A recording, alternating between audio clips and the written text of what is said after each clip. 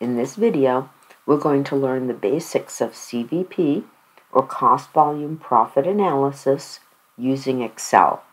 If you would like to follow along, open the workbook CVP Analysis from your student folder. Now, before we begin, let's explain the math of what we're going to be doing in Excel. So to explain what we're going to be doing, the first thing that I'm going to do is I'm going to write the profit equation. So our profit equation is revenue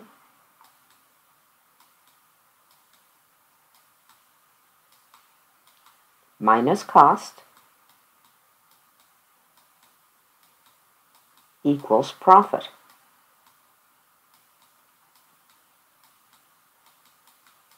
Now, in CVP analysis, we assume that our costs can be broken up into either variable or fixed. So I'm going to rewrite that profit equation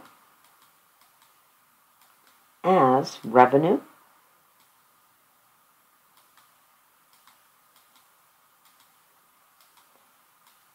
subtract out our variable cost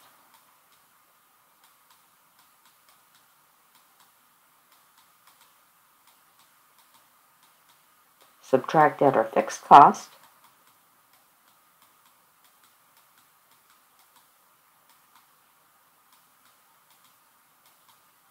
and that is going to equal our profit.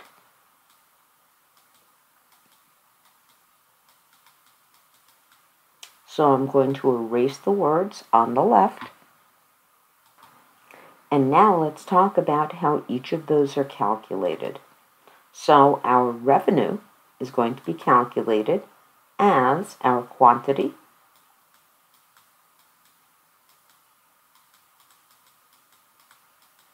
multiplied by our price. Our variable cost is going to be calculated as our quantity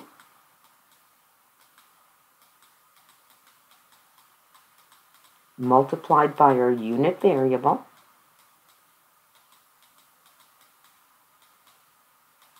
and our fixed cost is going to be given in the problem. Now, when we do a break-even analysis, our profit is zero. Or if we do a target analysis, our profit is going to be given. So in any case in the problem, the profit will be given either as zero or a different number. So notice in our break-even analysis, we are given our selling price. We are given our unit variable cost. We are given our fixed cost. So if we're talking about a break-even analysis, I know here we're given our quantity, but let's not look at that for the moment. In our break-even analysis, if we know our price, if we know our unit variable cost, if we know our fixed cost, and we know our profit, then the only variable is going to be the quantity. So all we'll have to do is figure out our quantity to do a break-even analysis. So with the given numbers, let's calculate our operating income, and then let's use formulas to calculate our break-even point in unit and in sales dollars, and also calculate our units for a target profit. So let me erase my writing and let's begin. Now, if you have opened your CVP analysis workbook, make sure you're on the contribution margin, contrib margin tab. Now we're going to use Excel to calculate our contribution margin. First, I'm going to click in cell B11 to calculate the sales revenue.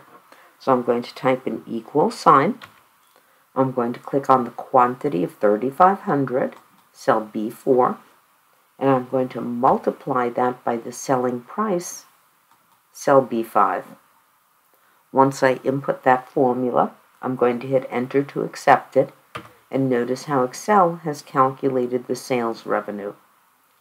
Now to calculate the variable cost, make sure that you're in cell B12, you selected cell B12, type in equal sign, and tell Excel to take the quantity of 3500, cell B4, and multiply it by the unit variable cost, cell B6. Hit enter to accept the formula, and notice how Excel has calculated it for you automatically. For the fixed cost, since that's just given, we're going to type an equal sign, and we're going to click on cell B7, the fixed cost. That tells Excel that whatever is in B7, we want the same number to appear in our contribution margin income statement. So if we change the number in cell B7, cell B13 will be updated automatically. So we hit enter to accept that formula. And now to calculate the operating income, I type in equal sign.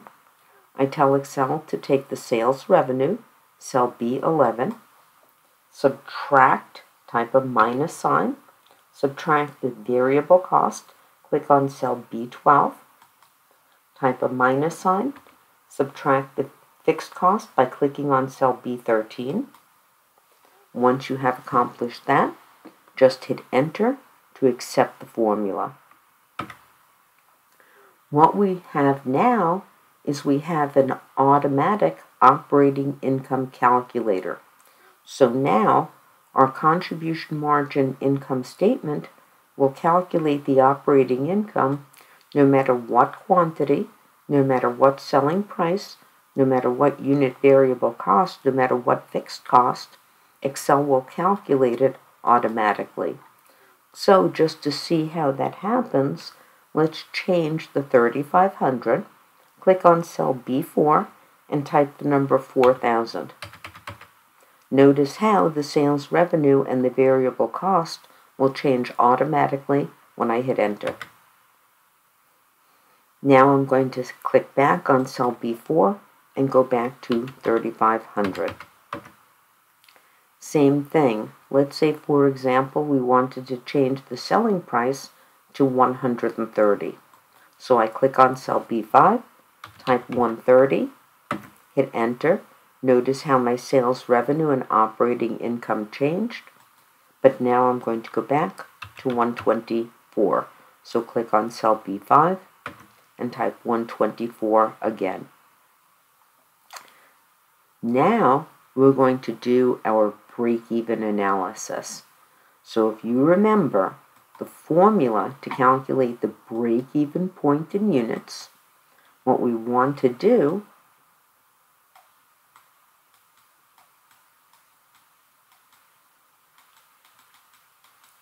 is in the numerator, we want to take the fixed cost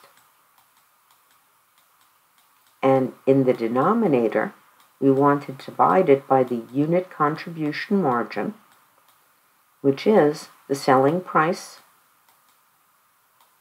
minus the unit variable.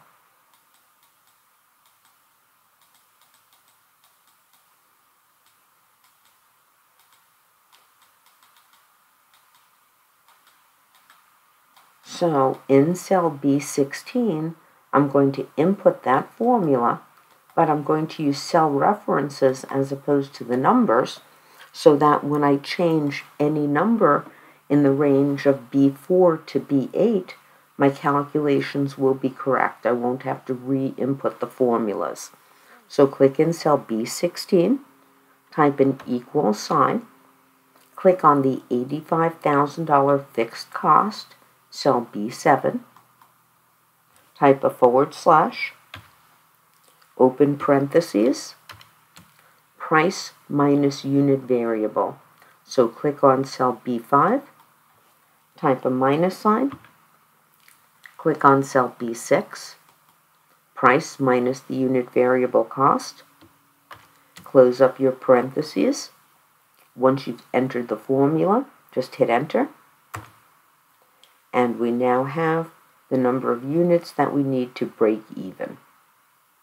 To calculate the sales revenue to break even, type in equal sign, so click in cell B17, type in equal sign, click on the number of units to break even, type an asterisk for multiplication, and click on the selling price, cell B5.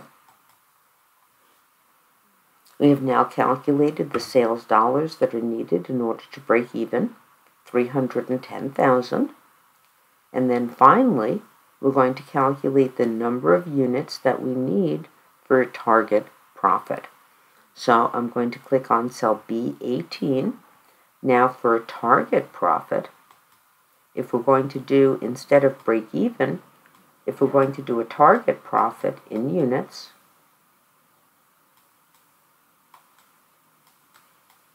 in the numerator, we take the fixed cost and we add the target profit. It's really the same formula because with break even, your target profit is zero. So what happens when you add zero to the fixed cost? You wind up getting the fixed cost. So it really is that same formula. So click on cell B18, type an equal sign, and open the parentheses this time. So first we're going to click on the fixed cost, cell B7, we're going to add the target profit, so type a plus and click on cell B8, the target profit. Close up the parentheses, type a forward slash for division, open the parentheses, and now we're going to calculate the price minus the unit variable. So I'm going to click on cell B5. I'm going to type a minus sign Click on cell B6, the unit variable. Close up my parentheses. Once the formula is complete, hit enter to accept. And the number of units that we need to hit our target profit is 3,000. In a future video, we'll show you how to use the round up function to make sure that your number of units to break even do not have any decimals.